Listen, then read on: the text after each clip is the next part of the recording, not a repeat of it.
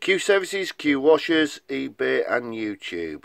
So what simply got here is a venturi system to work the telescopic lance system. What we've simply done in, is put the quick release stainless steel minis into the system. We've then got the venturi. Now that is a brass venturi that's in there. If you're working with strong chemicals, I'd advise you go for stainless steel.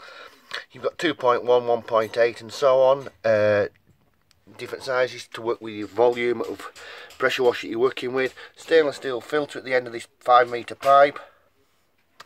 Uh, and that means you can obviously use different sorts of products that are strong with the stainless steel ones. Can be done with mi mini brass ones, but like I said, they won't last the same amount of time as what the stainless steel will. Thank you very much, Q Services, Q Washers, eBay and YouTube.